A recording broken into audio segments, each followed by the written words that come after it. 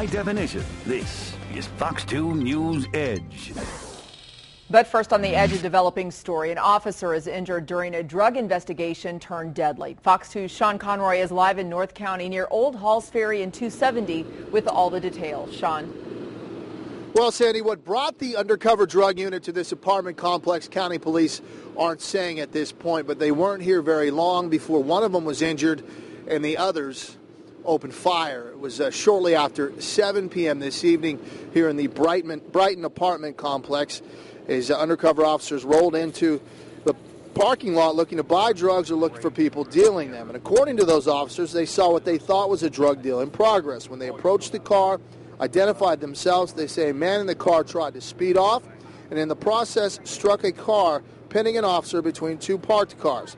That is when his fellow officers opened fire, killing the suspect. No identity on that man or any indication if he had drugs on him or not. The officer, a two year veteran of the force, is in fair condition with some injuries to his legs. For both police and residents, well, a lot of questions remain. We was hanging out front.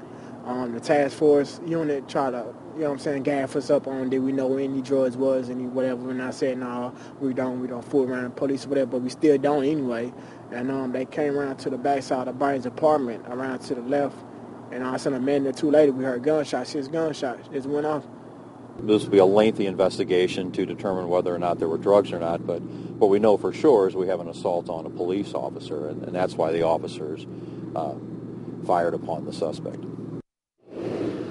Now, while police officers were undercover, the spokesperson says that they did indeed identify themselves before opening fire and before all of this actually started to unfold.